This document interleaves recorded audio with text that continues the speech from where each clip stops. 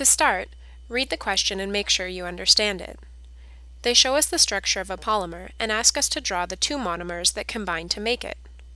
They also tell us something about the type of polymer it is.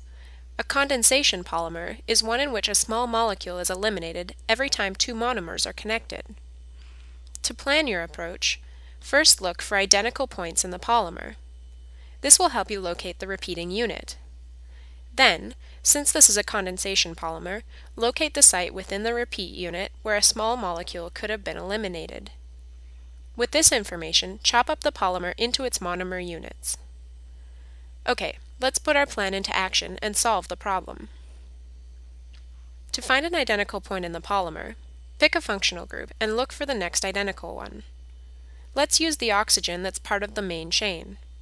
Locate the first one, then find the second one and check to see if it's identical. It's not.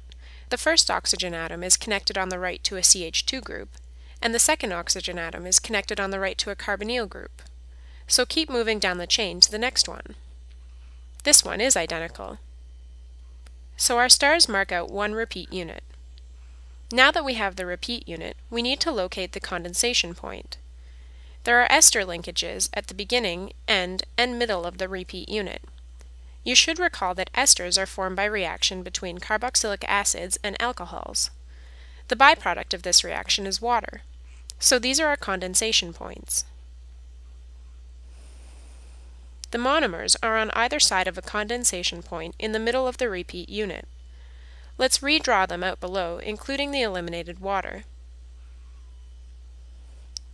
Check that the question doesn't ask anything else, and that when you drew the monomers, you included the small molecule that gets eliminated.